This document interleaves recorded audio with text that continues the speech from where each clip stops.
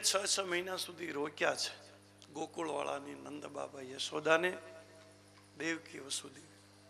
પણ છ મહિના પછી વિદાય આપે છે. હવે કૃષ્ણને છોડીને જવાની તો કોઈની ઈચ્છા ન થાય. પણ હવે સંસારનો નિયમ છે કે કાયમ માટે કોઈનું મિલન રહેતું નથી. મિલન થાય એમ, વિયોગ પણ થાય. જુદાઈ જુદું પડવું પડે નહીં પ્રકૃતિનો નિયમ છે. એટલે બધાય મહેમાનોને બહુ સારામાં સારી ભેટ પૂજા આપીને બધાનું સન્માન કરી અને ખૂબ મીઠા શબ્દોમાં ભગવાન કૃષ્ણ વિદાય આપે છે. બધા રડતી આંખોએ વિદાય લે છે. કૃષ્ણની વિયોગ બધાને સાલે.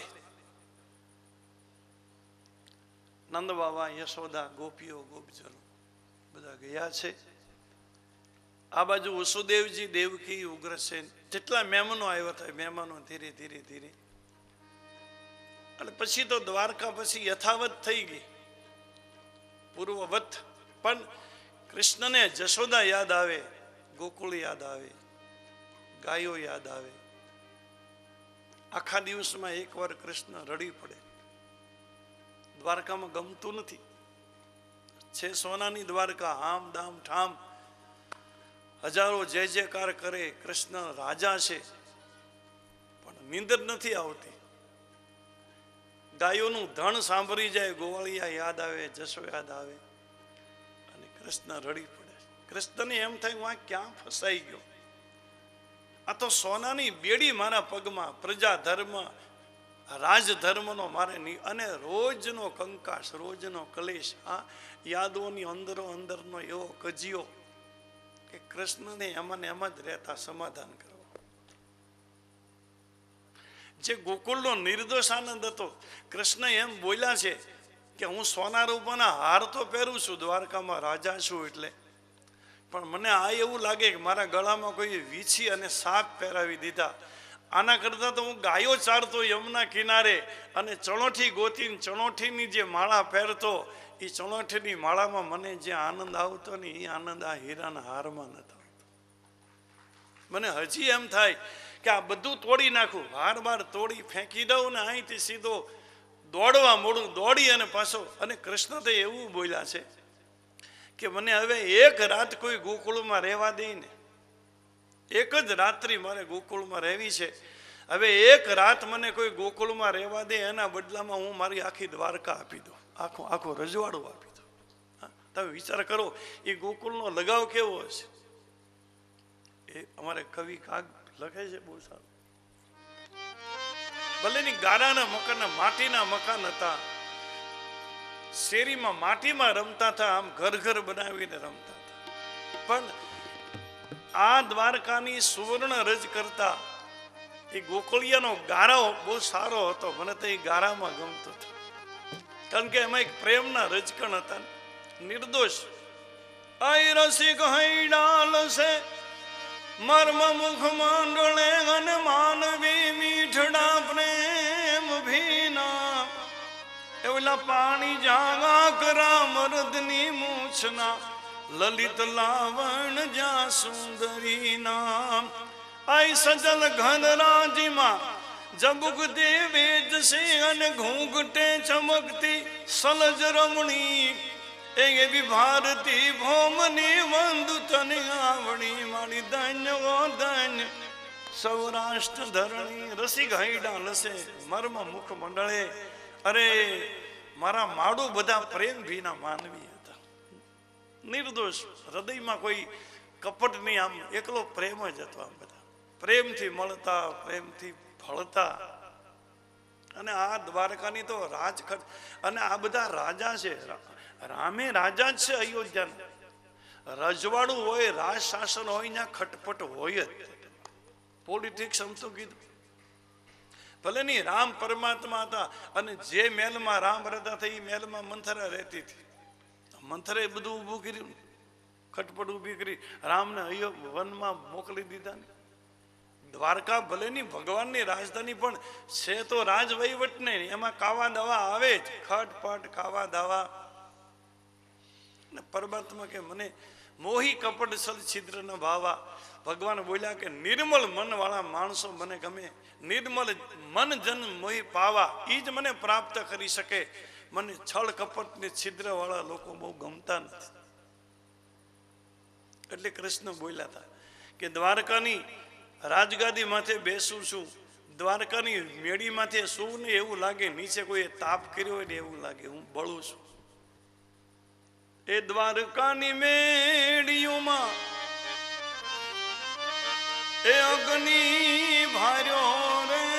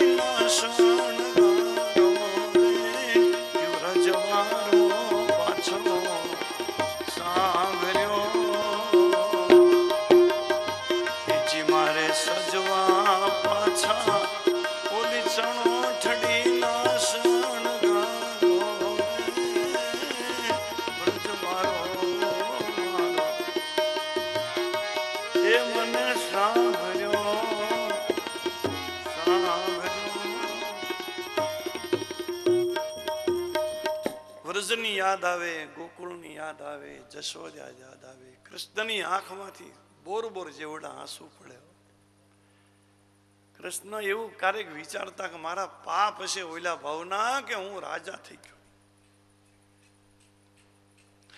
અતિ સંપત્તિ કૃષ્ણને એકવાર કોઈ પૂછ્યું કે તમને જે ભજે છે, તમારા જે ભક્તો છે, એને તમે કાંઈ ન આપો બિચારા ગરીબ જ હોય. અને જે પાપ કરતા હોય રાજદી અનિતિ ને અધર્મ ને પાપ કરતા હોય, એને તમે માલામાલ કરી દો. એટલે હાચા છે એ બિચારા બાજરી વગરના હોય. કૃષ્ણ કે ભાઈ હોય તો મેરા રાજ હે હોય તો એ તમારું રહસ્ય છે. અર્જુને પૂછ્યું. પણ અર્જુન કે તમે પાપીઓને પૈસા આપો ને મંગલા ને મોટરું ને હે તમારે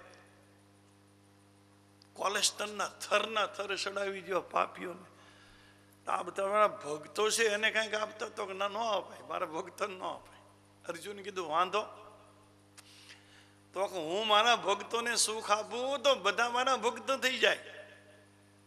અર્જુન કે, આમાં શું વાંધો? સંખ્યા વધે ને? અત્યારે તો ભક્તોની અને અનુયાયીની સંખ્યા વધારવાની તો હરીફાઈઓ થાય છે. એમાં હું વાંધો કૃષ્ણ કે, મારા બધા ભક્ત થઈ જાય, એનો વાંધો નહીં, પણ પછી મોટો વાંધો થાય. અર્જુને કીધું, છે હું? મતલબ કોની ત્યારે કૃષ્ણે કીધું કે, મેં ભક્તન કો સુખ દઉં તો સભી મેરે ભક્ત બન જાય. હું મારા ભક્તને સુખ આપું તો બધા મારા ભક્ત બન જાય. પછી મારા જે ભક્તો થાય એને મારે વૈકુંઠ જ આવવું પડે. વૈકુંઠમાં જ મોકલવા પડે. મેં ભક્તનું કો સુખ દઉં તો સભી ભક્ત બન જાય. પછી નરક કુંડ ખાલી રહે તો પછી કીડે કિસકો ખાય.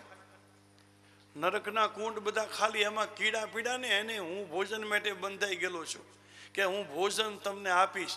હવે કૃષ્ણ કે બધા મારા ભક્ત થાય તો નરકમાં મોકલવા કોને? તો પછી કીડા ખાય કોને?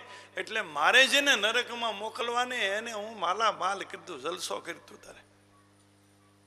પાપ કર, અધર્મ કરી, અનિતિ કરી, રૂપિયે રેમ તું તારે. કારણ કે તારું અહીં સો ત્યાં સુધી પછી તારે ઓલપા જવાનું જ છે. અને કૃષ્ણ કે હું જેને ઉગારવા માગું, હું જેને ભવસાગરથી તારવા માગું, એને કોઈ દી સંસારના સુખ આપતો જ નથી. પરમાત્મા જેને ઉગાર, આપણી સીધી રીતે છોકરું જો માને છોડતું જ ન હોય ને માને કંઈક કામ હોય બાળક છોડે નહીં. તો પછી બાળકથી દૂર થવા માને કંઈક તો કરવું પડે ને. પછી રમકડા આપે ને, ઓલી ધાવણી આપે ને, ઘૂઘરો આપે ને, ચકલી આપે ને, પોપટ આપે ને એમ કરીને બાળકને રમતે ચડાવે, છોકરું રમતે ચડી જાય તો માં એનાથી દૂર થઈને ઘરનું કામ કરે. એમ ઈશ્વરને આપણેથી દૂર થઈ જવું ને એટલે આ બધા રમકડા આપી દે, બંગલાના મોટરુંના પત્નીના સોનાના. એ કે આમાં તું રમને તો હું તારથી આગો થઈ જાઉં. અને જેની પાસે રહેવું છે એને રમકડા આપ્યા જ નથી, ભક્તોને કંઈ આપ્યું જ નથી. પરમાત્માની નજીકમાં જ છે. અને બાળકમાં નાવડામાં પાછો ફેર કેટલો ખબર? કે ભલે બાળક રમકડે રમે ખરો આમ રમતે ચડી જાય, પણ એ રમકડાને રોવરાવે પછી એનું એ રમકડું એને રોવરાવે અને પછી તો રમકડા ફેંકી દે, એની માને ભાળીને રડવા મળે. તમે રમકડા આપો તો ના પડે, તેમ ફેંકી દે. આટલું તો ખરું કે બાળક રમકડા ફેંકી દે, પછી એની માં એને તેડો તો ખરી. પણ આપણે રમકડા મળ્યા પછી આપણે કોઈ રમકડા ફેંકે નહીં ને આપણે કોઈ રોયા નહીં ને ઉઈલો કોઈ આવ્યો નહીં. ભગવાન કે તને સારું લાગે તું તારે. આપણા આપણા જો આપણે ફેંકી દઈએ, રડ ઊંચાંત કરવાનો શું મતલબ છે? આપણે છેલ્લે જે કથામાં ઊંચા નવા પાર્વતી પતિએ કરીને ઊંચાંત કરી શું મતલબ છે?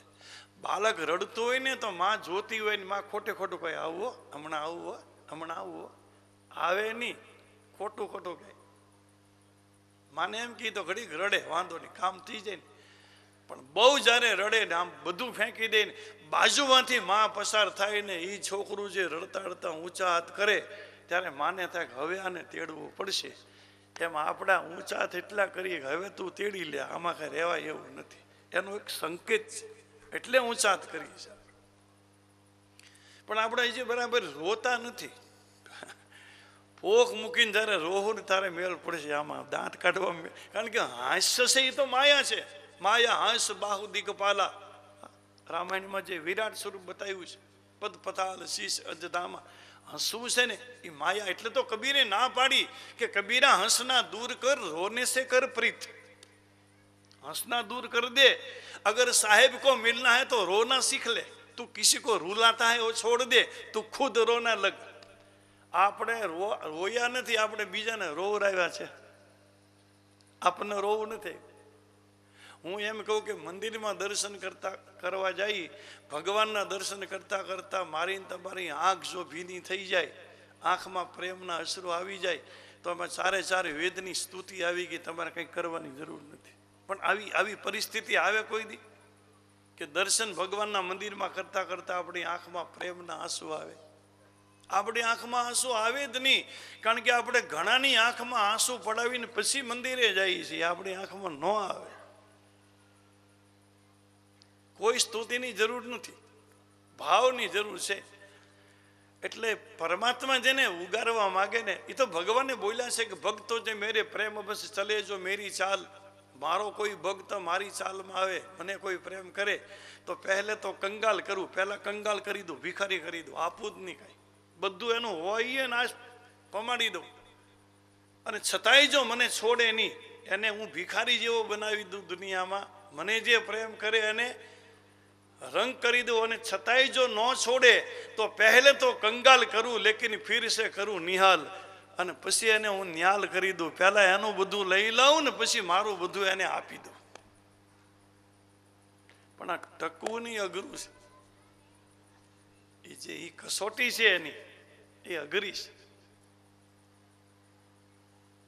એટલે કૃષ્ણ એમ કહેતા હતા, અતિ સંપત્તિ, અતિ પૈસો, આ તો હું આમથી વાત કરું છું. અને અમે વાતો કરી, પણ અમારે જરૂર જ છે કે નથી એમ નહીં. ભલે અમે વા, એ અમે અમે ધનજીભાઈને એમ જ કહીએ, ધ્યાન દેજો દરેક આ તો અમસ્તી વાત કરો. અમારે કોરબામાં ને એમાં બધા અમદાવાદમાં ઓહો, મહારાજ પણ મજા કરાવી હો. બોળી મજા આવી કથા તો મહારાજ, એવા તો મહારાજ કથા, ધજ કથા કર્યા હો. આનંદ આવ્યો. હવે અમે તમને આઠ દી આનંદ આપ્યો, પણ તમે અમને એક દી તો આનંદ આપજો છેલ્લે દી. હો વાત ને એક વાત. આમાં સમજાણું કાંઈક કૃતિ સમજાણું? હા? તો તમે આમ તો બધા આ બાબતમાં તમે બહુ સમજો છો. આ તો તમને ઈશારામાં ખબર પડે. આ તો હું તમને આમથી વાત કરું, તમે કોઈ માઇન્ડમાંથી નો માઇન્ડ લેતા નહીં, આ તો હસવાની વાત છે. એટલે ભલે આપણે એમ કહીએ કે ભાઈ આ બધું આ, પણ જરૂર બધાયને છે, તમારે છે એમ અમારે, તમને જે ભાવે તેલ મળે એ ભાવે તમને મળે ને અમે બસમાં બેસવા જઈએ ને, આ તો ઠીક છે, સાધન સગવડતા છે, નહીતર બસમાં ચડીએ તો કંડક્ટર અમારી પાસે ટિકિટ માગે. પછી અમે એમ કે હું કથા કરશું તો તો હેઠો ઉતરી જાય કથા કર- તો કથા કરી જાય. એટલે વસ્તુ તમારે જે જોવે એ જ અમારે જોતી હોય ને. તમને જે ભાવે મળે એ ભાવે અમને મળે. એટલે જે માર્કેટ છે અથવા તો જીવન જરૂરી વસ્તુને બધાને જરૂરિયાત છે પૈસાની. પૈસો ખરાબ છે એમ નહીં. કોઈ વસ્તુ ખરાબ નથી, પણ એની પ્રત્યેની મારીને તમારી એક સંતોષની રેખા હોવી જોઈએ. જીવનમાં જીવવા માટે કે ભાઈ આપણા પૂરતી આપણી જરૂરિયાત કરતાં ને આપણી હેસિયત કરતાં ભગવાને ઘણું જાજુ આપી દીધું. તો પછી જાજી હાય હોય ન કરવી, જાજી કામના ન કરવી, ભગવાને આરામથી દાળ રોટો ખાઈએ એટલું આપ્યું છે, તો આરામથી જીવીએ, બે પાંચ નામ એના લઈ આપણું શાસ્ત્ર, લક્ષ્મી ખરાબ હોય તો તો સ્ત્રી સ્ત્રી સૂક્તના પાઠ કરી, યશા સંયમ સકૃતિ નામ ભવનેશ્વર લક્ષ્મી પાપાત. આ ન બોલે બધા મહારાજો લક્ષ્મીના સ્તોત્ર હું કામ બોલે? શ્રી યંત્ર હવ હવના ઘરમાં રાખીને બેઠા શું કામ? જરૂર વગરના બેઠા? બધાને જરૂર છે. એટલે પૈસો ખરાબ છે કે લક્ષ્મી સંપત્તિ ખરાબ છે એવો કહેવાનો ભાવ નથી. પણ એનો અતિરેક થઈ જાય આમ. અને પછી મને તમને ઓડકાર જ ન આવે. રોટલીનો ઓડકાર આવે, રોટલાનો ઓડકાર આવે, ખીચડીનો આવે, પણ રૂપિયાના કોઈને ઓડકાર નથી આવ્યા. બસ હું ધરાઈ ગયો, મને નથી જોતા એમ. અને એ એ જ મને તમને આ અશાંતિ એનાથી ઊભી થાય. નથી જે શાંતિથી જીવી શકતા. રૂપિયાવાળાને રાતે ઊંઘ આવે, હો ઘોણા ઘડતા હોય. અહીં લગાડો અહીં લગાડો અહીં લગાડો. કોમ્પ્યુટરમાંથી બધા ભાવતાલ જોતા હોય. હું આનો પ્રોફિટ શું છે ને, આમાં હું ગાળો છે ને, કેટલો ગાળો? ક્યાંથી લોન મળે છે ને, કોના ગળામાં ગાળિયા નાખવા? આ જ વાતો હાલતી હોય. એટલે કહેવાનો મારો મતલબ કે ભાઈ આપણને ઈશ્વરે આપ્યું છે, આપણી પૂર્તિ આપ્યું છે, આરામથી જીવી શકીએ એમ છીએ, તો થોડીક જિંદગીમાં નિરાંત પણ હોવી જોઈએ. અતિ સંપત્તિનો બીજો અર્થ વિપત્તિ જ થાય. અતિ અતિરેક તો અતિ સર્વત્ર વર્જીએ. શાસ્ત્રો, કોઈ પણ જ્ઞાનનો અતિરેક, બુદ્ધિનો અતિરેક, સંપત્તિનો અતિરેક, સ્નેહનો અતિરેક એ મને તમને હેરાન જ કરે. સ્નેહે બધાની સાથે રખાય, પણ એ મર્યાદામાં રખાય. લાગણી બધા સાથે રાખો, એની પણ મર્યાદા હોય. પણ આમાંય જો હું તમે હદ છોડી દઈ લાગણીમાં સ્નેહમાં, તો એ મને તમને દુઃખી જ કરે.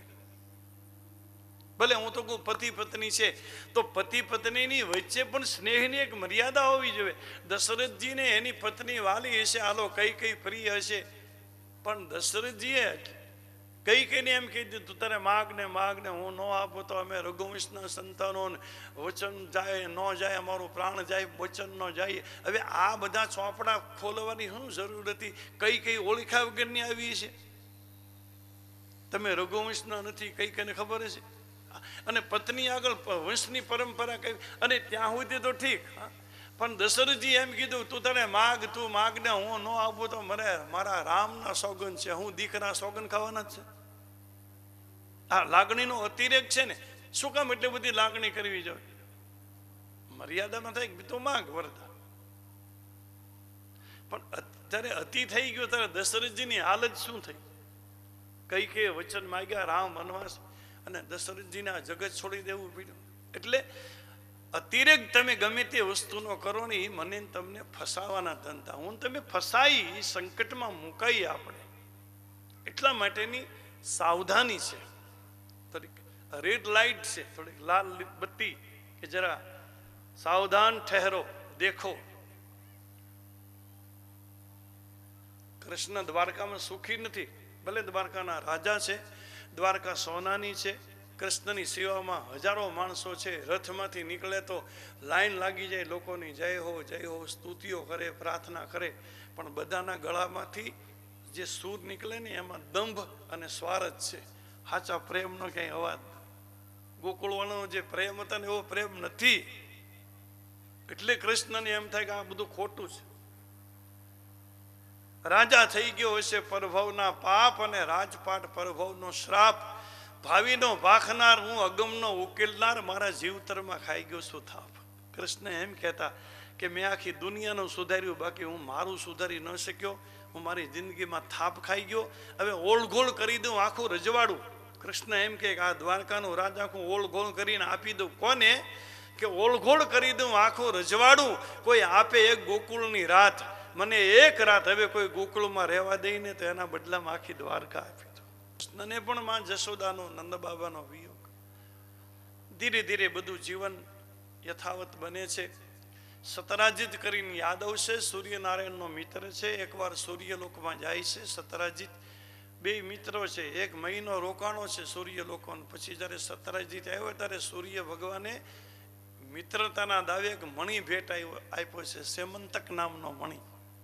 આવી મણિનો પ્રભાવ એવો કે તમે પૂજામાં રાખો ને, રોજ પૂજા કરો તો અઢાર વર્ષોનો આપે એ મણિ. એવો સરસ મણિ. હવે સતરાજીત કૃષ્ણનો થોડોક વિરોધી. હવે એકવાર સતરાજીતનો ભાઈ એનથી નાનો પ્રસેન એ ગળામાં મણી બાંધીને શિકાર કરવા ગયો. જંગલમાં સિંહનો ભેટો થયો. સિંહે ઓલાને મારી નાખ્યો સતરાજીતે જોયું તો પૂજામાં મણી નહીં. સતરાજીતને એમ કે, મારો મણી કૃષ્ણ જ ચોરી ગયો. એ ચોર છે, પહેલેથી ચોરીના ધંધા કરે. આક્ષેપ આખો આળ નાખ્યું. કૃષ્ણે કીધું, ભાઈ, મેં મણી જોયો નથી. તો કે, નહીં નહીં એ કોઈથી સાચું બોલ્યો જ નથી, ખોટું જ બોલે પછી કૃષ્ણ જાય છે દ્વારકાના જંગલમાં અને એને એક જાંબુવાન કરીને રીંછ મળે છે. જાંબુવાનની સાથે ભગવાન કૃષ્ણનું સત્યાવીસ દિવસનું યુદ્ધ થાય, જાંબુવાન હારી જાય, ત્યારે એને ખબર પડી કે આ સાક્ષાત પરમાત્મા છે. રામાવતારમાં ત્રેતા યુગમાં રામ હતા.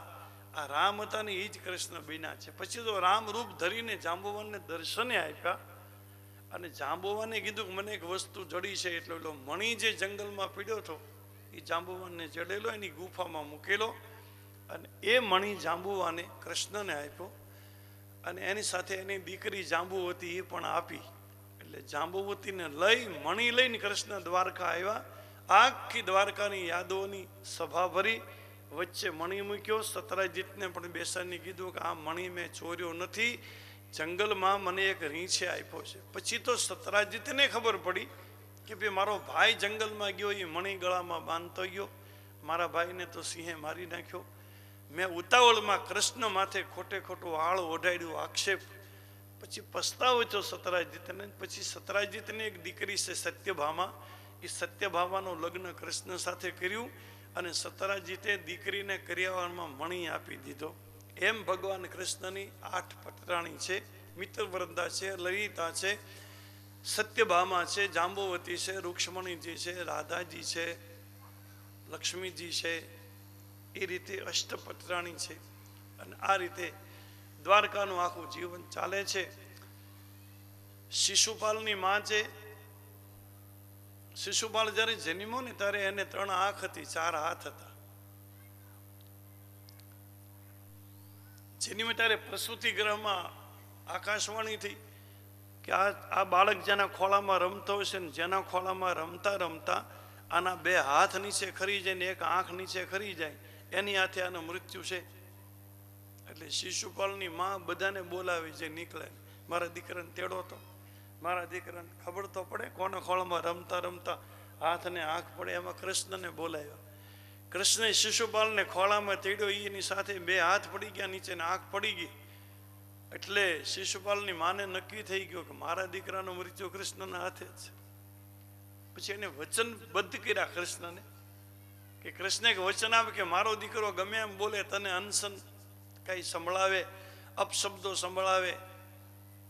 તારે મારા દીકરાને મારવાનો નહીં. પછી કૃષ્ણે કીધું આમ તો ફઈબા કહેતા શિશુપાલની માતાને, કૃષ્ણ. તો કાં ફઈબા, હું તમને વચન આપું, પણ એની સાથે મારી શરત છે કે એક જ જગ્યાએ ઊભો ઊભો એ મને ગાળો દેશે, તો હું નવાણું ગાળું સહન કરીશ, પણ નવાણુંની ઉપર સહન નહીં કરું.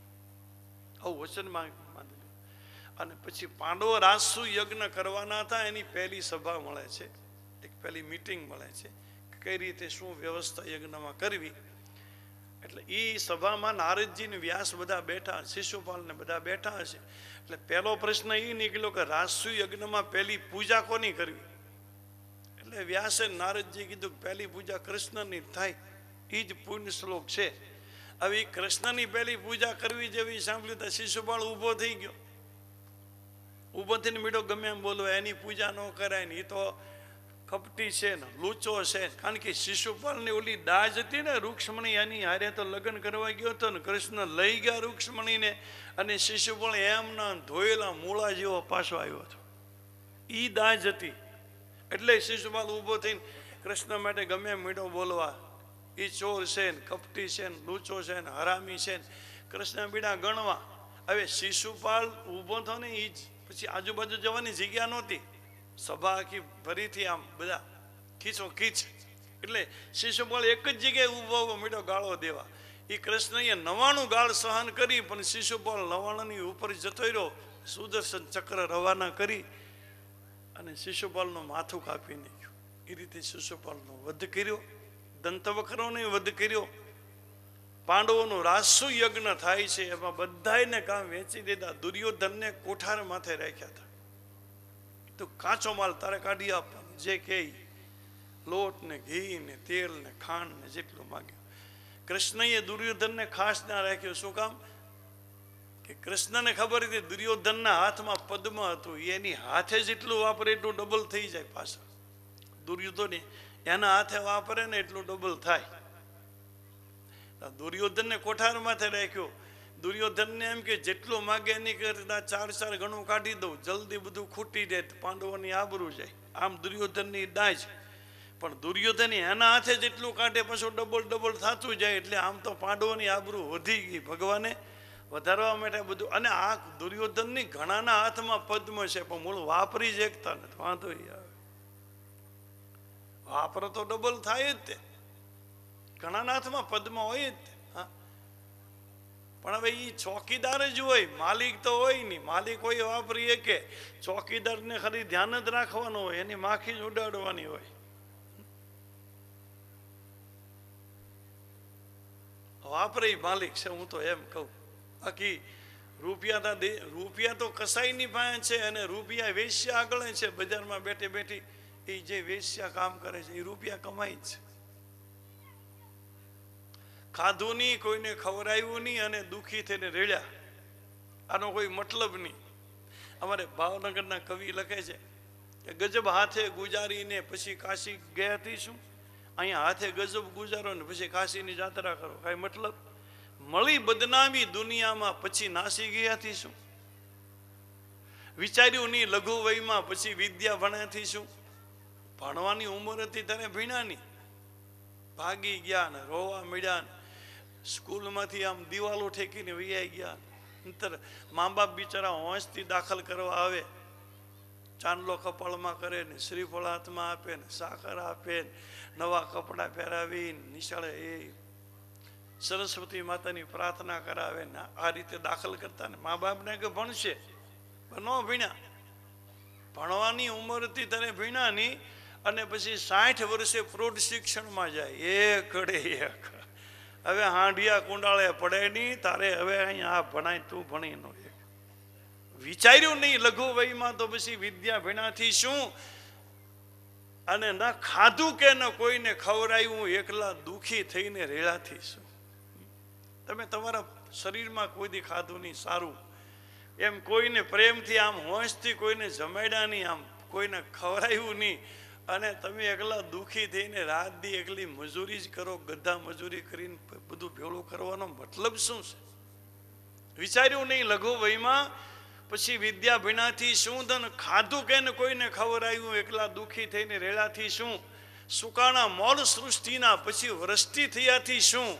અને કહે પિંગલ મુવા વખતે ધન આવી મળ્યાથી શું? પૈસાની જરૂર હોય પણ આખી જિંદગી ન આવે. અહીંયા છેલ્લી ઘડીએ ભોય પથરીએ લીધા હોય ને, તુલસીનું પાન માઢમ મૂકી દીધું હોય ને, રૂપાનો ટુકડો મૂક્યો હોય ને, અશોક મહારાજ જેવા આવીને ગીતાનો અધ્યાય વાંચતા હોય ને, ઘીનો દીવો કર્યો હોય, ઘડી બે ઘડી હોય એ વખતે કોક એમ કે હાલે, આ પાંચ લાખ કરી, જલસા, પછી હું કપાલ જલસા કરે. મરતી વખતે રૂપિયા આવે હું કામના? જ્યારે જરૂર વિચાર્યું નહીં, લઘુ સુકાણા મોલ સૃષ્ટિમાં પછી વરસતી થયાથી શું અને કહે, પિંગલ, મુવા વખતે ધન આવી મળ્યાથી શું? શું આનો મતલબ છે? જીવનનો કોઈ મતલબ જ નથી.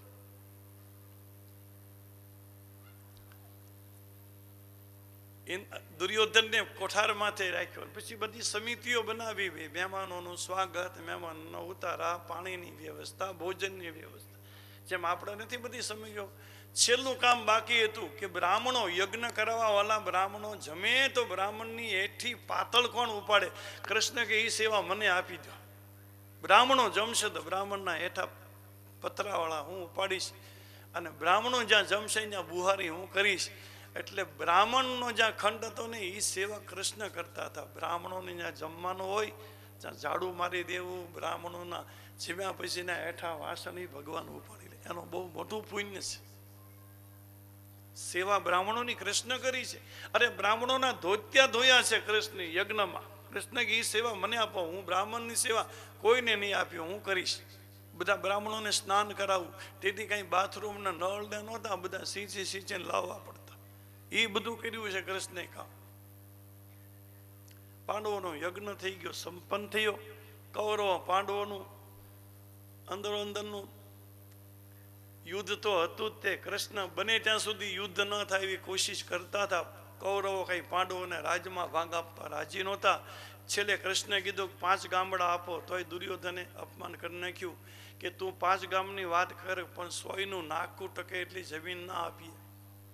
પછી અનિવાર્ય રીતે યુદ્ધ થાય અને પાંડવોના પક્ષમાં ભગવાન કૃષ્ણ છે નારાયણી સેના કૃષ્ણની, કૌરવોના પક્ષમાં છે અને અઢાર દિવસના યુદ્ધમાં મોટા ભાગે લગભગ બધા કૌરવો વિલીન થઈ જાય છે બધા. મૃત્યુ પામે, પાંચ પાંડવો અને કૃષ્ણ એટલા રહ્યા છે. ભગવાન કૃષ્ણ હવે પાંડવોને કહે છે, હવે તમે હસ્તિનાપુરમાં જાઓ, હવે તમે વિજય થયા છો, હવે રાજ ભોગવો. તમે ઘણા વર્ષો સુધી દુઃખ ભોગ્યું. કુંતા માતા તો કૃષ્ણની આગળ દુઃખ જ માગે. કે એ કૃષ્ણ અમને કાયમ માટે દુઃખ આપજો, અમારે સુખ નથી જોઈતા. કારણ કે સુખ જો મળશે ને તો કૃષ્ણ, અમે તમને ભૂલી જશું. દુઃખ આપશો ને તો અમે તમને રોજ યાદ કરીશું. તમે રોજ યાદ આવો ને કૃષ્ણ એ જ મોટું સુખ છે. અને ભગવાન ભૂલાઈ જાય ને એવું આ દુનિયામાં કોઈ દુઃખ નથી. મોટામાં મોટું દુઃખ એ છે કે માણસ ઈશ્વરને ભૂલી જાય. એટલે કુંતા તો સુખ નથી વાગ્યું વિપદા સંતુ, હંમેશના માટે દુઃખ. અમને મળે. પાંડવોને હસ્તિનાપુરમાં મૂકી અને ભગવાન કૃષ્ણ દ્વારકા આવે. દ્વારકાનું શાસન ચાલે છે. હવે કૃષ્ણનો એક મિત્ર છે, સાંદીપની ઋષિના આશ્રમે ભણતા બ્રાહ્મણનો દીકરો સુદામો. પછી તો ભણીને કૃષ્ણ દ્વારકા આવી ગયા. સુદામાજી સુદામા પુરી નામ તો પોરબંદર તો હમણાં નામ પીધું છે. બાકી ગામનું નામ સુદામાપુરી. સુદામાજી સાચા અર્થમાં બ્રાહ્મણ છે. અજાચક છે, વિપ્ર. વિપ્ર બધા બ્રાહ્મણને કહેવાતા નથી. બ્રાહ્મણ માટે ઘણા નામ છે. ભૂસુર છે, ભૂદેવ છે, દ્વિજ છે, મહીસુર છે, વિપ્ર છે. વેદમાં જે ધર્મો લખ્યા છે બ્રાહ્મણના અને વેદમાં જે બ્રાહ્મણના ધર્મ લખ્યા એ પ્રમાણે ધર્મને પાળીને જે જીવતો હોય ને એને વિપ્ર કહેવાય. ખાલી જનોઈ ભરી લેવાથી બ્રાહ્મણ કે વિપ્ર ન કહેવાય. ઘણા બધા નામ છે, પણ વિવેક પ્રધાન અથવા તો વૈરાગ્ય પ્રધાન જેનું જીવન, વિપ્રનો અર્થ એ થાય. જેના જીવનમાં વિવેકની પ્રધાનતા હોય અથવા તો વૈરાગ્યની પ્રધાનતા હોય અને વેદના નિયમ પ્રમાણે જે જીવે એ વિપ્ર અને ઈશ્વર જે અવતાર જે બ્રાહ્મણ માટે લે, એ અમારી જેવા માટે નહીં, સુદામા જેવા માટે અવતાર લે. સુદામાનું જીવન વિપ્ર જીવન છે. અજાચક વરસશે કોઈ પાસે માગવું નહીં. જે દિવસે જેટલું મળી જાય એ સાંજ સુધીમાં વાપરી નાખો બીજા દિવસ માટે કોઈ રાખવાનું નહીં. બહુ ભરોસાથી જીવે કે આપે છે બધાને આપે છે. સુશીલાજી એના પત્ની, સુદામાના પત્ની. પરિસ્થિતિ થોડીક નાજુક છે. સુદામાજી તો આખો દિવસ હરિચિંતનમાં વેદના વિચારમાં હોય. સુશીલાજીને બે ચાર બાળકો, પરિસ્થિતિ ઘરની બહુ નબળી. કોઈના કપડાં ધોવે, કોઈનું પાણી ભરે, કોઈના અનાજ પીસે. આવા બધા ગામના કામ કરીને જે મળે એમાં ગુજારો ચલાવે. બાળકો બે ચાર છે, રહેવા માટે સારું ઘરે નથી છોકરાને પહેરવા કપડાય નથી પૂરતા. શિયાળાની ઠંડીમાં કપડાં ઓઢવા માટેનું કાંઈ નથી એટલે ચૂલાની ગરમ ગરમ રાખમાં છોકરા હુરાવી દે. આ પરિસ્થિતિમાં. સુદામાજી તો ભગવાનની ભક્તિમાં લી સુશીલા એકવાર કીધું કીધું સુદામાને કે તમારા કૃષ્ણ મિત્ર છે, તમે ઘણીવાર એમ કહો કે અમે સાથે ભણતા, તો તમે મળવા તો જાઓ. સુદામા કે હવે ન જવાય. બહુ મોટો માણસ થઈ ગયો. હવે હું મળવા જાઉં તો મને ઓળખે નહીં પછી હામીથી ઓળખાણ કાઢીને મળું, એમાં કઈ મજા નહીં. આજુબાજુના રેફરેન્સ દેવા પડે. મને ન ઓળખ્યો. હું ફલાણાનો દીકરો, હા. એ પછી ઓળખાણ કાઢી એની કરતાં મજા ક્યારે ભાલા ભેળા ઓળખી જાય, એની મજા. અને- ઓળખાણ તેની પ્રકારની આવે આ દુનિયામાં. એક માણસ પોતાના નામથી ઓળખાય એ ઉત્તમ પ્રકારની ઓળખાણ. એને એના નામથી ઓળખાય. બીજું આજુબાજુનો આધાર લેવો ન પડે. બીજા નામની ઓળખાણ એના પિતાના નામથી ઓળખાય. હું ફલાણાનો દીકરો. એ સેકન્ડ ક્લાસ પોતાના નામે ઓળખાય ફર્સ્ટ ક્લાસ અને થર્ડ ક્લાસની ઓળખાણ છે એ આપીની સસરાના નામે જે ઓળખાય. તમે મને ન ઓળખ્યો, હું ફલાણાનો જમાય એ તો થર્ડ ક્લાસ એ ઓળખાણ આપી જ નહીં, ન ઓળખે તો કાંઈ નહીં કોઈ પણ એ આધાર ન લેવાય ને છેલ્લું. એમ સુદામાએ એની પત્નીને કીધું કે હવે એ બહુ મોટો માણસ છે, દ્વારકાનો રાજા છે અને મને ઓળખે નહીં અને કદાચ મને ઓળખી જાય તો આપણી હાલત જોઈને એને એમ થાય ને કંઈક લેવા આવ્યો છે એવું શું? કામ કોઈના મનમાં થવા દેવું જોઈએ? અરે સુશીલા કે આપણે કાંઈ લેવું નથી. હું તો તમને દર્શન કરવાનું કહું, તમે જાઓ, દર્શન કરી આવો. અને તમે કંઈ માગતા નહીં તમે તો માગતા નથી કોઈ પાસે. કદાચ કૃષ્ણ તમને કંઈ આપી દે, તો તમે લાવતા નહીં. તમારે હાલતી વખતે એને, છોકરા તો એને હશે ને. તમે જેમ પૈણામી એ તમારો ભાઈ બંને પૈણો જશે, લગ્ન કર્યા હશે. તમારે હાલતી વખતે એના છોકરાના હાથમાં આપી દેવું. તું નાનો છે ને હું મોટો છું, મારે તારું કંઈ લેવાય નહીં. એમ કરીને આપતા આવજો કાંઈ લાવતા નહીં. પણ તમે દર્શન કરવા જાઓ. સુદામાની ઈચ્છા નથી, સુશીલાજીનો બહુ આગ્રહ છે. સુદામાજી વળી પાછો પોઈન્ટ કાઢ્યો કે રાજાને મળવા જવું હોય, ગુરુને મળવા જવું હોય, સંતને મળવા જવું હોય, મંદિરે જવું હોય, અથવા તો ધર્મના કાર્ય હોય ને જ્યાં પગે લાગવા જાય ત્યાં ખાલી હાથે કોઈથી જવાય નહીં, ખાલી હાથે પગે લગાય નહીં. કાંઈ ને કાંઈ ભેટ પૂજા મૂકવી પડે, આપણા ઘરમાં કાંઈ છે નહીં. સુશીલા કઈ વ્યવસ્થા હું કરી દઉં. ચિંતા કરો બાજુમાંથી એક મુઠ્ઠી તાંદુલ લાવ્યા. પણ પરિસ્થિતિ એટલી ખરાબ ને કે એક મુઠ્ઠી તાંદુલ બાંધવા માટે ઘરમાં કપડાનો ટુકડો નથી, રૂમાલ જેટલું કપડું નથી. ચિથરા ગોતે. એક ચીથરા માથે બીજું ચીથરું, એની માથે ત્રીજું ચીથરું. એમ પાંચ, છ ચિત્રા આડાવડા મૂકીને મુઠ્ઠી તાંદુલને એની ગાંઠીઓ વળે છે સુશીલા. અને પતિને આપે છે સુદામાને. સુશીલાએ કીધું, કૃષ્ણને આપજો, કહેજો, તમારા ભાભીમાં એ પ્રસાદ મોકલાવ્યો અને મને વિશ્વાસ છે કે ભલે એને ઘરે છપ્પન કોટી, છપ્પન ભોગ છે, પણ મારા પ્રેમનો પ્રસાદ કૃષ્ણ જરૂર ખાશે આવો મને વિશ્વાસ છે. એ તો પ્રેમને આધીન છે. એમ કરીને સુદામાને તૈયાર કર્યા. દુબળો દેહ છે. એક હાથમાં લાકડી, હાડ ને ચામ ચોંટી ગયા છે. એક પોતડી પહેરી છે ઘૂંટણ સુધીની, પણ એમાંય કેટલી જગ્યાએ ફાટી ગયેલી. ગરીબાઈ તો આમાં આમાં આમ આંટો વાઢી ગયેલી સુદામાને. આંખમાંથી આંખ ઊંડી ઉતરી ગયેલી, માથે ફેંટો બાંધ્યો છે, પણ એમાંય લીરા લટકે છે. રાધે કૃષ્ણ રાધે કૃષ્ણ રાધે કૃષ્ણ. સુદામાજી જાય, જ્યાં નદી આવે તો એનો સમય થાય, ત્યારે સ્નાન કરી લે. ત્રિકાલ સંધ્યા કરે, બ્રાહ્મણનો ધર્મ છે. ચાલતા ચાલતા સાંજ પડે ને કોઈ ગામના પાદરમાં કોઈ મંદિર હોય તો મંદિરના ઓટલે સૂઈ રહી પ્રભુ કૃપાથી કંઈ મળી જાય તો પ્રસાદ તરીકે લઈ લે અને નીતર નદીનું જળ પી અને આમ ચાલતા ચાલતા યાત્રા કઈ રીતે થાય, નહીં તો સુદામાજીના જીવનમાંથી શીખાય. કે યાત્રામાં નિયમ ઘણા હોય, યાત્રાની મર્યાદા પણ હોય, તીર્થસ્થાનની મર્યાદા હોય. તીર્થમાં જઈ યાત્રા કરવા તો એના નિયમ પાળવા પડે, પવિત્રતા રાખવી પડે, સંયમ પાળવો પડે. તો એની યાત્રાનું ફળ મળે. પણ આપણે તો ટૂરમાં જઈ, યાત્રામાં થોડા જઈ. આપણે જલસો કરવા જ જઈએ કોઈ મર્યાદા આપણાથી રહેતી નથી. તીર્થસ્થાનમાં મારે ને તમારે નિયમ તો એવા છે કે જ્યાં સુધી મંદિરની હદ હોય કે આશ્રમની હદ હોય, તો મંદિરની હદ હોય ત્યાં સુધીમાં થૂકાય નહીં, કોઈ વ્યસનનું સેવન થાય નહીં, તમાકુ ખવાય નહીં, બીડી પીવાય નહીં.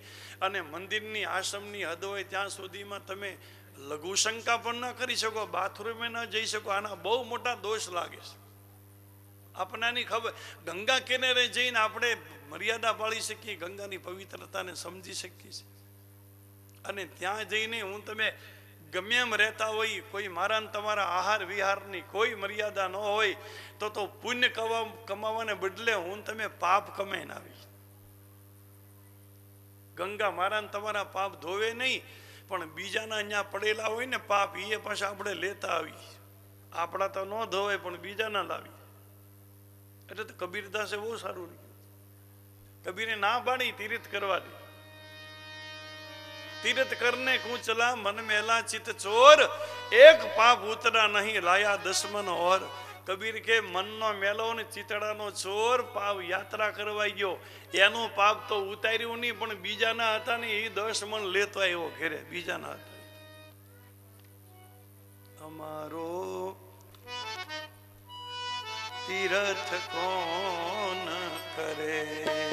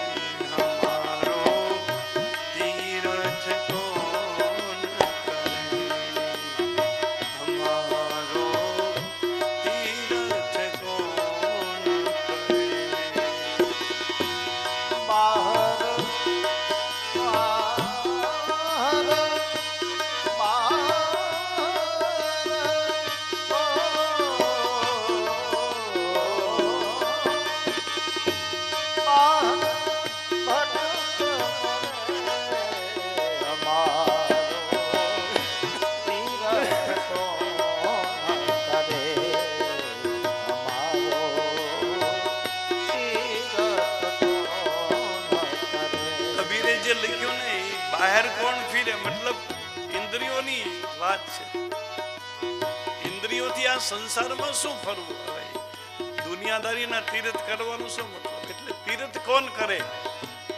ઇન્દ્રિય ગોચર, ગોચરથી સંસારમાં ઇન્દ્રિયોને ફેરવવી. બેકાર. એની કરતા તારી અંદર ડૂબકી મારતું. મન મે ગંગા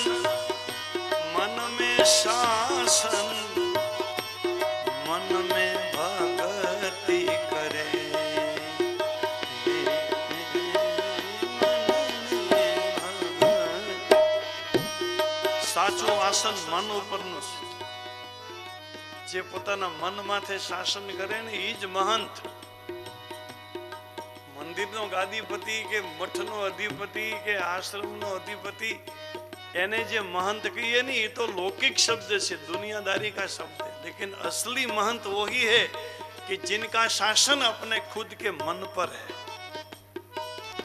मन को आसन बनाकर जो मन पर शासन करता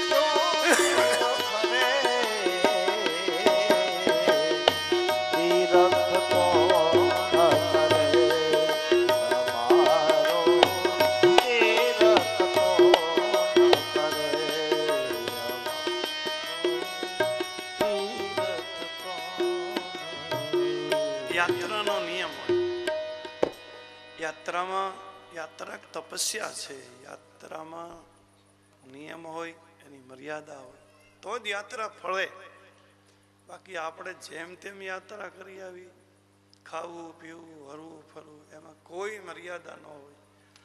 તીર્થની પવિત્રતાનો મને તમને ખ્યાલ ન હોય, તીર્થમાં કઈ રીતે રહેવાય એની ખબર ન હોય, તો યાત્રા પુણ્ય ન આપે, ઉલટાનું પાપ કરી નાખે. સુદામાજી બતાવે, યાત્રા કેમ થાય? ચાર પાંચ દિવસો નીકળી જાય, સુદામાજી તો કોઈ દિવસ દ્વારકા ગયા નથી, પહેલી વારનો પ્રયોગ છે. છેલ્લે છેલ્લે કોઈ વટે માર્ગો સામે મળે એને પૂછે છે સુદામા કે દ્વારકા કેટલું દૂર છે? તો ઓલા ભાઈએ કીધું કે તમે નહીં પહોંચો મહારાજ, હજી તો દ્વારકા દૂર ઘણું છે, તમારું શરીર દુબળું છે તમે પાછા ફરી જાઓ. દ્વારકા તો હજી ઘણું દૂર છે અને તમે આ તમારું હાડ પિંજર જેવું શરીર પહોંચી નહીં શકો. સુદામાજી એક મંદિરના ઓટલા માથે બેસી અને રડી પડે છે. કે અમે આટલા બધા દુર્ભાગી કે અમને કૃષ્ણ દર્શને ન થાય. કેવા પાપ છે અમારા? સુઈ જાય છે રાત્રે ત્યાં મંદિરના ઓટલે. આ બાજુ ભગવાન કૃષ્ણે ગરુડજીને કીધું, ગરુડજી, સુદામાને તમારી પીઠ માથે બેસાડી અને ગોમતીના ઘાટ માથે ઉતારી દો લીલા એવી કરી સુદામાને ખબર ન રહી. ગરુડજી ગયા છે પીઠ માથે બેસાડી અને સીધા ગોમતીના ઘાટ માથે સુદામાજી જાગે તા તો દ્વારકા. ખબર નહીં તો શું ભગવાનની માયા. ગોમતીમાં સ્નાન કરીને અંદર જાય છે સપન સીડી ચડીને. પણ દ્વારકા તો દ્વારકા કહેવાય સોનાની દ્વારકા, બધા એના મકાન માથે મણીના દીપ પ્રગટે, મંદિરોમાં દીપમાળા, શંખનાદ થાય, ઘંટનાદ થાય, ચોઘડિયા વાગતા હોય, શરણાઈઓ વાગતી હોય, યાદવો બધા દ્વારકાના રાજમાર્ગમાં ફરતા હોય, પીળા પિતાંબરો પહેર્યા હોય ગોરોચરના તિલક હોય, તુલસીની સોનાની કંઠીઓ ગળામાં પહેરી હોય અને યાદવો બધા કૃષ્ણ જેવા રૂપાળા લાગે. અને આખી નગરીમાં જય હો કૃષ્ણચંદ્રનો જય હો કૃષ્ણ. જે જેકાર થાય અને આખી નગરીને સળગારી મંદિરો મે દીપ જલે. એ મંદિરો મે આ દીપ જલે. કનૈયા તેરે મંદિરો મે દીપ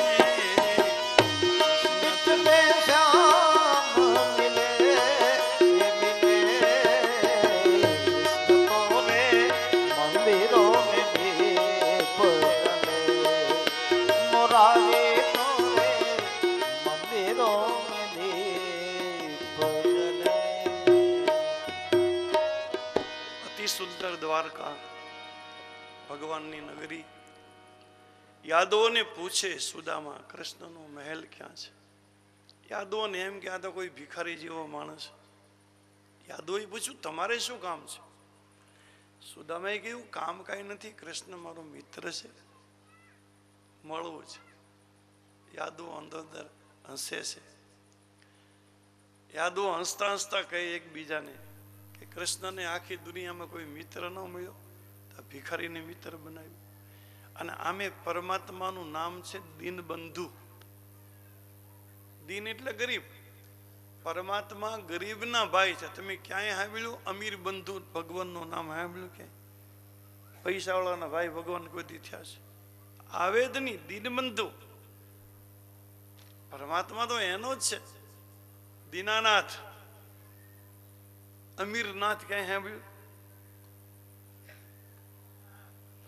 યાદવોને એમ કે આ કોઈ પાગલ જેવો માણસ ઉડાવ જવાબ આપી દીધો. સીધા જતા સુદામાજી સીધા જાય દ્વારકાની બહાર નીકળી ગયા. વળી બીજી ગલીમાં, ત્રીજી ગલીમાં. એમ લગભગ અડધો પોણો દિવસ આખા દ્વારકામાં બધે ફરે પણ કૃષ્ણનો મહેલ કોઈ દેખાડે નહીં. પછી તો થાકી ગયા સુદામાજી. કોઈ ઘરના ઓટલા માથે બેઠા. પછી એક વૃદ્ધ યાદવ મળે સુદામે કહ્યું કે ભાઈ, હું સવારથી આ ગામમાં ફરું છું. મને કૃષ્ણનો મહેલ મળતો નથી. તમે કહેશો કૃષ્ણનું મંદિર ક્યાં છે? એનો મહેલ ક્યાં છે? એટલે વૃદ્ધ યાદવને એમ કે, આ કોઈ સાચો માણસ. તો કે, તમે સીધા જતા રહો. તો કે, એમ તો બધા હવારથી એમ જ કહે, સીધા સીધા નિશાની કંઈક બતાવો. તો મોટો મહેલ હશે, દરવાજામાં હીરા જડેલા હશે દ્વારપાળ ઊભા હશે ચોઘડિયા વાગતા હશે સુદામાજી બે બાજુ જોતા જાય, ચાલ્યા જાય એમ મોટો મહેલ આવે છે. દ્વારપાળ ઊભા છે, દરવાજામાં હીરા જડેલા. સુદામે દ્વારપાળને પૂછ્યું, કૃષ્ણનો મહેલ છે? દ્વારપાળે કીધું, આ તક મારે મળવું છે. દ્વારપાલને એમ કે, આ ગરીબ છે કોઈ બ્રાહ્મણ છે? દ્વારપાલને કીધું કે, તમારે જમવું હોય તો અહીં સદાવત અનક્ષેત્ર હાલે છે. હાલો, હું સાથે આવું, તમને જમાડી દઉં અને તમને એક બે ધોતિયા અપાવી દઉં. એમાં કૃષ્ણને મળવાની કાંઈ જરૂર નથી. સુદામાએ કીધું કે, મારે જમવું નથી, હું જમવા નથી આવ્યો, પણ હું જમાડવા માટે આવ્યો છું. હું ભગવાનને જમાડ મારે કંઈ જોઈતો નથી, મારો મિત્ર છે. તમે અંદર જઈને વાત કરો, આ પાણે તો અંદર આવવા દીજો. દ્વારપાળે કીધું કે, ભગવાન પૂછે તો તમે, તમારી શું ઓળખાણ? સુદામા કે અમારો કોઈ પરિચય ન હોય, ઓળખાણ જીવની ન હોય, ઓળખાણ પરમાત્માની જ હોય. જીવ તો માયામાં ગોથા મારતો હોય, એની કોઈ વિશેષતા ન હોય. છતાં આમ કહેજો, પૂછે તો કે પરમંદરથી સુદામો કરીને કોઈ તમારા દર્શને આવ્યું છે. દ્વારપાળ અંદર જાય છે. હિંડોળા માથે ભગવાન હિંચકે છે ને આઠે પટરાણી સેવામાં લાગી છે. દ્વારપાળે જઈને પ્રણામ કર્યા, મહારાજ, કોઈ દુબળો પાતળો બ્રાહ્મણ આવ્યો છે આપને મળવા અને સુદામાં એવું નામ બતાવે છે. સુદામા પૂરીથી આવું છું. સુદામાનું નામ પીડ્યું ભગવાન ઊભા થઈ ગયા. અરે, મારો ભાઈ આવ્યો અરે મારો બાપ આવ્યો આજ મારી દ્વારકા નગરીના પાપ ધોવાઈ ગયા. મારી નગરીમાં એક પવિત્ર બ્રાહ્મણ આવ્યો, વિશુદ્ધ. શું સુદામાનો ભાગ્ય છે તમે વિચારતો કરો કે ખાલી નામ સાંભળીને કૃષ્ણ જે દોડ્યા છે, પિતાંબરી પડી ગઈ, ચાંખડી ન પહેરી અને સીડીના ત્રણ ત્રણ પગથિયા એક હારે ઉતરતો આવે, કૃષ્ણ આમ ઠેકડા મારતો આવે. અરે મારો ભાઈ આવ્યો, મારે આંગણે આવ્યો, મારા ભાગ્યનો ઉદય થયો. મારા જીવનમાંથી અમંગલ મટી જશે, હવે મારું બધું મંગળ થશે. એક વિશુદ્ધ અને પવિત્ર બ્રાહ્મણે કરુણા કરી અને મને મારી નગરીને ધન્ય બનાવી દીધા. આમ કરીને કૃષ્ણ નીચે ઉતર્યા. કૃષ્ણને નીચે આવું, સુદામાને અંદર આવું અને સુદામાની હાલત જોઈને કૃષ્ણ રડી પીડ્યા. હો અરે ભલામણા, તારી આ દશા? દેખી સુદામા કી દિન દિશા કરુણા કર કે કરુણા નિધિ રોઈએ ભગવાન રડી પીડ્યા છે. અને કંટક જાલ પહેર્યો ને આયો ગીતે ને કીતે દીને ખોયો. અરે તું ક્યાં ભલામણ ખોવાઈ ગયો તો એટલા દિવસ સુધી? તે મને યાદ ન કર્યો, કૃષ્ણે કીધું. તારી એટલી મારી માથે કૃપાની. અરે હું તો આ બધા ફંદામાં ફસાયેલો છું રાજ ધર્મમાન પ્રજા ધર્મમાન એટલે મને તો ફુરસત નથી. પણ સુદામાજી, તું મને યાદ ન કર, તું તો મારો મોટો ભાઈ છો ભલામણ. તું તો મારા બાપ ઠેકાણે છો. કૃષ્ણ આવું બોલે છે. તું ક્યાં હતો અત્યાર સુધી? અને કૃષ્ણને એમ થયું કે આવો પવિત્ર બ્રાહ્મણ મારે ઘરે એના ચરણ કમળ મારે પખાડવા જોઈએ. એટલે કીધું, જલ્દી ગોમતીના જળ લાવો, જમના જળ લાવો. દોડા દોડી થઈ ગઈ. નોકર ચાકર દોડે. પણ હવે વાર તો લાગે ને, છપ્પન પગથિયા ઉતરી નીચે જાય, ગોમતીનું જળ ભરે. છપ્પન પગથિયા ચડે. કૃષ્ણને એમ થયું, સુદામાના સન્માનમાં વિલંબ થાય. પછી તો ગોમતીના જળ કે જમનાજીના જળની રાહ ન જોઈ. કૃષ્ણએ પોતાની બે આંખોમાંથી આંસુની ધારા વહાવી અને સુદામાના ચરણને આંખોથી દેખી સુદામા કી દીન દિશા કરુણા કરી કે કરુણા નિધિ રોયે. પછી પાણી પસાર હતા હાથ સુયો ની નીચે નેનન કે નીર છે પગ ધોયે. અરે કૃષ્ણ એની આંખના આંસુની ધારાથી સુદામાના શરણને પખાડે હા? આમ આમાં હું એમ કહ્યું સુદામાને તમે ગરીબ કેમ કહો? સુદામો ગરીબ કહેવાય. દુનિયાનો દુનિયાનો આવો કોઈ તવંગર માણસ નથી. સુદામાની તોલે કોઈ ન આવે એમ કહો. જેને મેળવવા માટે યોગીઓ જન્મ જન્મ સુધી તપ કરે, જપ કરે, સમાધિઓ લગાવે અને છતાંય શરીર માથે રાફડા થાય તો યોગીઓને અંજવાળું ન મળે. એને બદલે નામ સાંભળતા કૃષ્ણ હામીથી દોડતો હોય તો સુદામા જેવા દુનિયામાં કોઈ તવંગર માણસ નથી અને આવો કોઈ બ્રાહ્મણ ન હોય હું એમ કહું. બ્રાહ્મણ કુલની એક અસ્મિતા અને સુદામા, બ્રાહ્મણ સુદામા જેવો જ આવો જોઈએ હું તમે. બ્રાહ્મણ આવો જ હોય ને. જેનું નામ સાંભળીને ભગવાન દોડતા હોય, પ્રભુજીના ચરણને પખાળે સીધા સ્નાનાગારમાં લઈ ગયા. આઠે રાણીને કીધું, હાલો, સેવા કરવા. આવી, આવો અવસર નહીં મળે, બ્રાહ્મણની સેવા નહીં મળે. સોનાના બાજોટમાંથી બેસારી ત્રાંબા કુંડી ભરી અને કૃષ્ણ સામે બેઠા પલાઠી વાળીને સુદામાના ચરણને ખોળામાં રાખ્યા. રૂક્ષ્મણીને કીધું, તમે ધીરે ધીરે જળ રેડો, હું સુદામાના પગને ચોળું. બીજે રાણીને કીધું, કોઈ પીઠ ચોળો, કોઈ હાથ ચોળો. આમ આઠે પટણી સાથે કૃષ્ણ સુદામાને સ્નાન કરાવે છે.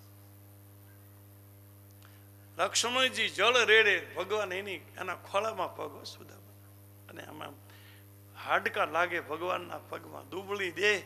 ધીરે ધીરે અને એમાંય કાંટા લાગેલા રસ્તામાં કાંટા ભાંગી ગયેલા, તો કૃષ્ણ સુદામાના પગમાંથી કાંટા કાઢે અને કોઈ કાંટો ઊંડો પેસી ગયો હોય કે નખમાં ન પકડાય તો દાંતે પકડીને પણ સુદામાના પગમાંથી કાંટા કૃષ્ણ કાઢે અને આ જીવને સંસારના કાંટા લાગે, તો સંસારના કાંટા કૃષ્ણ સિવાય બીજો કાઢે કોણ? મને તમને એ જ મુક્ત કરે ને સંસારમાંથી બીજો કોણ મુક્ત કરે?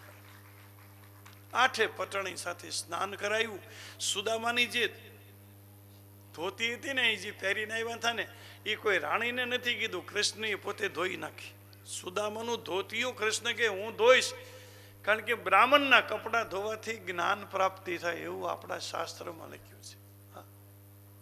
બ્રાહ્મણની સેવા ઉત્તમ સેવા છે બ્રાહ્મણના કપડાં જે ધોવે, એને એને જ્ઞાનની પ્રાપ્તિ, એની મેળે થાય જ્ઞાન પ્રગટે, એને ચોપડી વાંચવી ન પડે, ગ્રંથ વાંચવો ન પડે, કાંઈ ન કરવું પડે કારણ કે બ્રાહ્મણના આશીર્વાદ જ એવા છે કે મોહમાંથી જન્મેલી જડતાનો નાશ કરી અને અંદરની ચેતનાને પ્રગટ કરે. રામાયણમાં સૌથી પહેલી વંદના તુલસીદાસજીએ જ્યારે વંદન શરૂ કર્યા, ત્યારે આ તુલસીદાસજી આ ધરતી માથે સૌથી પહેલા પગે લાગવા જેવા બ્રાહ્મણો છે. હું બ્રાહ્મણને પગે લાગુ. બંધવું પ્રથમ મહીસુર ચરના મોહ જનિત સંશય સભરના મોહમાંથી જન્મેલા સંશયનો, મોહમાંથી જન્મેલી મૂઢતા અને જડતાનો જે નાશ કરે અને હૃદયની અંદર ચેતના, જ્ઞાનનું અંજવાળું કરી દે એ બ્રાહ્મણના આશીર્વાદ કરી દે. એટલે બ્રાહ્મણની સેવાથી ફાયદા ઘણા છે. કૃષ્ણ બ્રાહ્મણ સુદામાનું ધોતિયું ધોવે, પછી તો કૃષ્ણને કીધું કે મારા નવા પિતાંબર લાવો. સુદામાને ભગવાને પોતાના પિતાંબર પહેરાવ્યા. ગોરચરનું તિલક કરવા જાય, સુદામાના કપાળમાં કૃષ્ણ તો વિધાતાના લેખ વાંચ્યા. એમાં લખ્યું હતું, સ્ત્રી ક્ષય, લક્ષ્મીનો ક્ષય લખ્યો હતો ગરીબી લખી હતી. પણ કૃષ્ણએ તિલક કરીને કૃષ્ણની બે આંગળી અડીતા લેખ ઉલટા થઈ ગયા. સ્ત્રી ક્ષયને બદલે યક્ષ સ્ત્રી થઈ ગયો, લક્ષ્મીનો અધિપતિ થઈ ગયો. ભોજન માતાના હાથનો ઉત્તમ. મા પીરસન દીકરો જમે મા પીરસે અમૃત ભોજન કહેવાય. બીજું અમૃત બીજે કઈ નથી. બસ માનું આંગળું એ જ અમૃત. મા પીરસે માતૃ હસ્તે શું ભોજનમ? અને તિલક કોઈ બ્રાહ્મણ આપણને કરે, તો તિલકમ વિપ્ર હસ્તે શું? બ્રાહ્મણ આપણને કોઈ તિલક કરે એ ઉત્તમ. કારણ કે બ્રાહ્મણનો સ્વાભાવિક રીતે બ્રાહ્મણના જપ ચાલુ હોય પૂજા પાઠ તો બ્રાહ્મણ કરતા જ હોય. એના અમુક નિયમ પ્રમાણે ગાયત્રી માળા એટલી થતી હોય, બીજી માળા. એટલે બ્રાહ્મણની આંગળીમાં મંત્ર અને માળા બધું ફરતું હોય એટલે બ્રાહ્મણની આંગળીમાં મંત્રની તાકાત હોય. અને કોઈ બ્રાહ્મણ આપણા કપાળમાં છાંદલો કરે અને બ્રાહ્મણની આંગળી કપાળમાં અડે ને આપણા ભાગ્યમાં કદાચ ઉલટા સુલટા લેખ હોય ને, તો બ્રાહ્મણની આંગળી અડવાથી એ લેખ બધા મટી જાય, મારું તમારું દુર્ભાગ્ય મટી જાય એટલે તિલક બ્રાહ્મણના હાથે કરાવ બની જાય. માતૃ શું ભોજનમ? તિલકમ બિપર હસ્તેશુ પિંડ દાનીશું પુત્ર હસ્તેશુ અને દીકરાના હાથે પિંડદાન થાય. આ બધા નિયમ છે. હવે કૃષ્ણ તિલક કરે તો જેથ નદી થળ વાંત તેજ થળ વમલ પલટે. આ તિમિર ઘોર ગંધાર તેજના રવણ પલટે. રા કરી જે રંક રંક પર છત્ર ધરી જે ગલું તાસ વિશ્વાસ. આસ કીજે સમરી જે ચકદે ગંધા પંગા ચલણ. અને મૂગા સધવા વૈયણ તું કરતો કાવ ન થયે. કૃષ્ણ નારાયણ પંકજ નયણ. આ તો જેઠ નદી તું કરતો હે કનૈયા શું ન થાય? તું જ જળના થળ કરી દે, થળના જળ કરી દે, રંકને રાય કરી દે. રાયને રંગ બનાવી દે. તો તો પલમે સાઈસો કરે રાજાને એ પ્રભુ તું રંગ બનાવે. રાજાને હરી એ રંગ બનાવે. એ રંગ ને રાજ દીધે આ નસીબના જોયા જેવા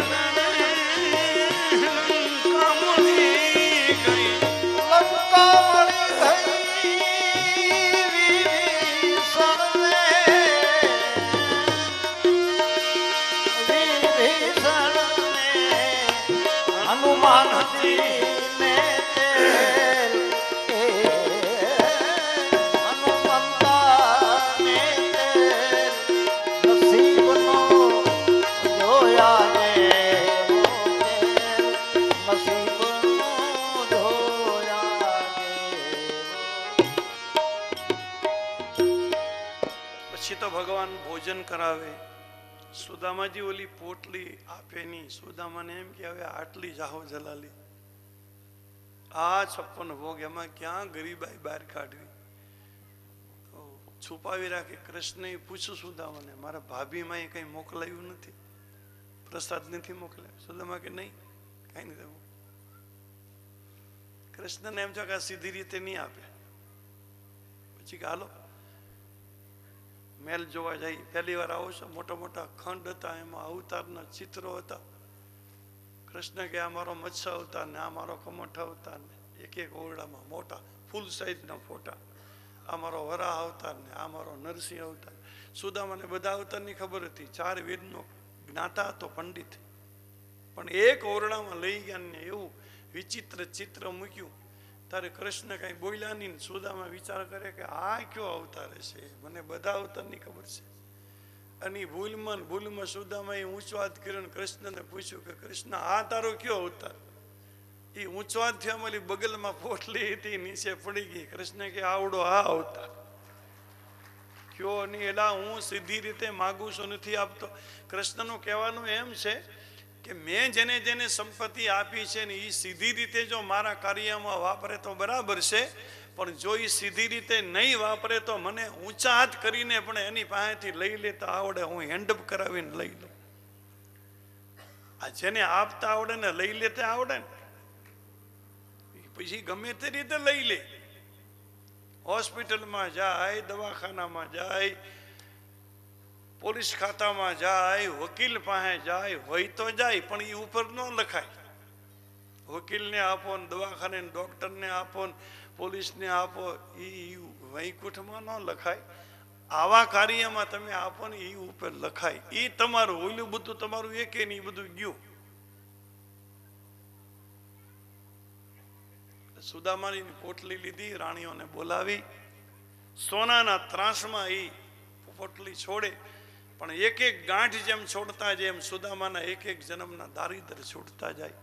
ભગવાન કૃષ્ણએ એક ચપટી લીધી, સંકલ્પ કર્યો, સુદામાના બધા દારિદ્ર ખતમ થાય કરીને એક ચપટી ખાઈ ગયા, બીજી ચપટી લીધી.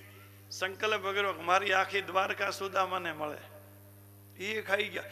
ત્રીજી ચપટીમાં સંકલ્પ કર્યો કે મારી આઠે આઠ રાણી સુદામાને ઘેરે દાસી થઈને જાય તો રૂક્ષ્મણી હાથ પકડ્યો કે હવે અમને તો રહેવા દો પરમાત્મા આપે તો એનું બધું આપી દે. આપણે ભગવાનને આપીએ ને, તો પેલું આપણા પૂરતી રાખીને વધારાનું હોય તો ભગવાનને આપી. બાકી ઈશ્વર જ્યારે આપે ને ત્યારે એ એની પૂરતી નથી રાખતો એનું બધું આપી દે છે. પરમાત્મા અતિ ઉદાર છે. પછી સુદામાને આ કઈ ખબર નથી, બે ચાર દી થયા, પાંચ દી થયા અને કૃષ્ણે કીધું, હવે તમે ઉપડો, જાઓ. સુદામાને એમ કેલા હું આવ્યો ત્યારે તો તું ભૂખું મીઠો તો ભરવા મૂજો ભા મૂજો વડો ભા મૂજો વડો ભા કરી. અને હવે તું મને એમ કે ઉપડો એટલે?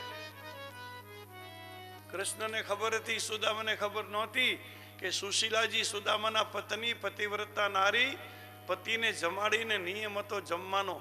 એ જેટલા દિવસથી સુદામા દ્વારકા આવવા નીકળ્યા ને પછીથી સુશીલા જેમાં જ નથી, ઉપવાસ જ ચાલે છે. તે કૃષ્ણને એમ કે સુદામાને અહીંયા વધારે રોક હું રોકું તો, પણ એ બ્રાહ્મણની દીકરી દુઃખી થાય, ભૂખી રહે.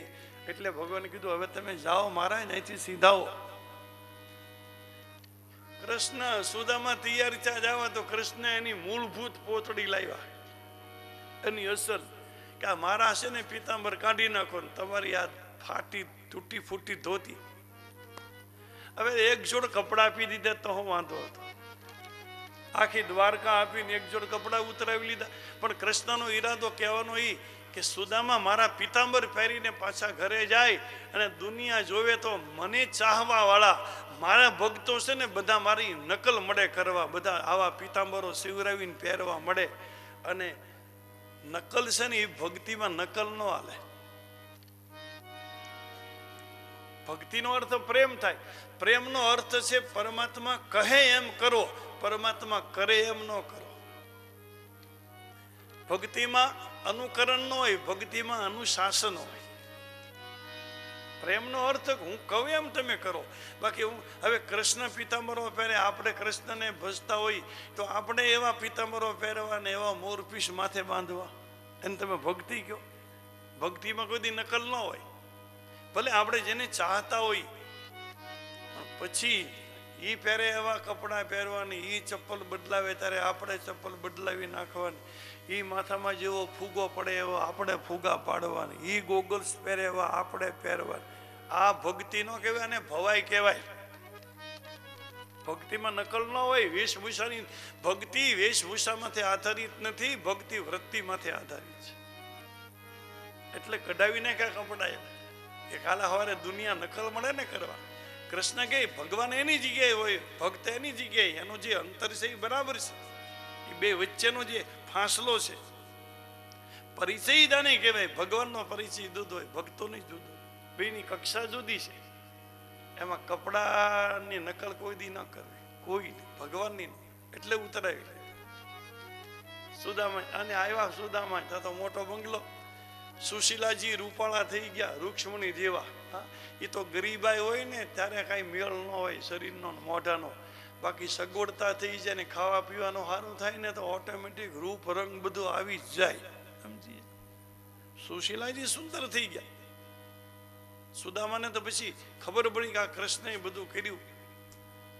પ્રભુ તેરે દરબાર કી નિરાલી શાન એ દેખી. ભગવાનને કોઈ કીધું કે તારા દરબારની શાન કેવી છે? કે સખાવત ખુદ તેરી ગલીઓ મેં ચક્કર કાઢતી દેખી.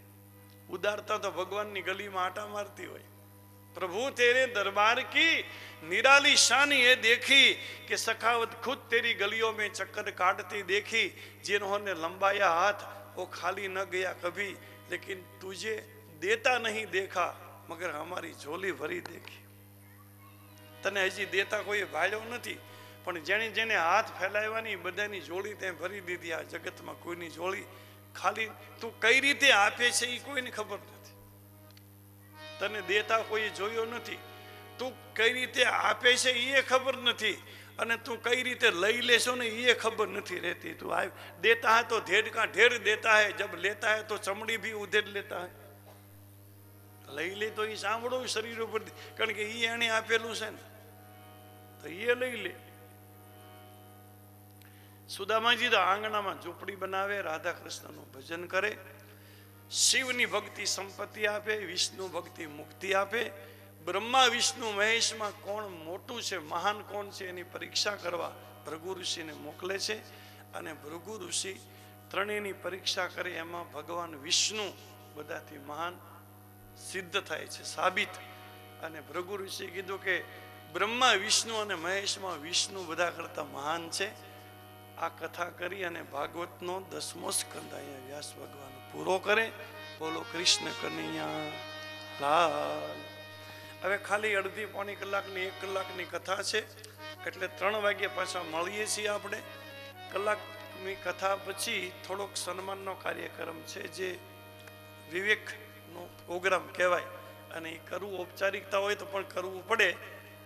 એટલે તમે અત્યારે પ્રેમથી પ્રસાદ લઈ લો અમે લઈ લઈ અને ત્રણ વાગ્યા પાછા અહીંયા મળીએ છીએ. એટલે હવે બે સ્કંદની ખાલી થોડી કથા રહી છે, અડધી પોણાકની, પોણી કલાકની કથા. પણ એ કથા બપોરે ત્રણ વાગે. હરે રામા રામા, રામ સીતા રામ.